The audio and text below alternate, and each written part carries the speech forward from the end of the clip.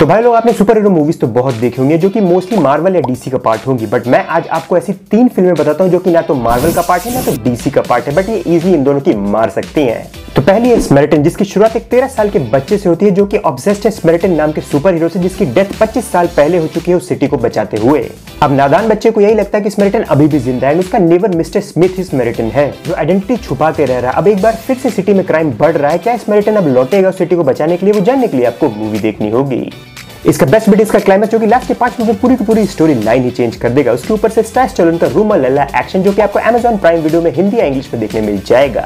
दूसरी है ब्राइट बन जिसकी शुरुआत एक कपल से होती है, जिन्हें एक दूसरे प्लांट से आया हुआ बच्चा मिला है। आई नो इस सुपरमैन से साउंड कर रहा है but it's not trust me नहीं नहीं नहीं, के यहाँ कुछ तो गड़बड़ है। ज़रूर कोई ना कोई गड़बड़। अब इस बच्चे के पास भी सुपर पावर बट ये बच्चा नॉर्मल नहीं है बच्चा प्योर इवल है जिसको पूरी की पूरी दुनिया ही खत्म करनी है। अब इसकी एंडिंग क्या होगी वो जानने के लिए आपको मूवी देखनी होगी। द बॉयज़ के बाद ये इकलौती ऐसी मूवी है जिसमें ये बताया है कि what if super heroes are bad इसके साथ साथ ये बहुत हॉरिफिक भी है, जो कि आपको Amazon प्राइम वीडियो पे रेंट पे मिल जाएगी।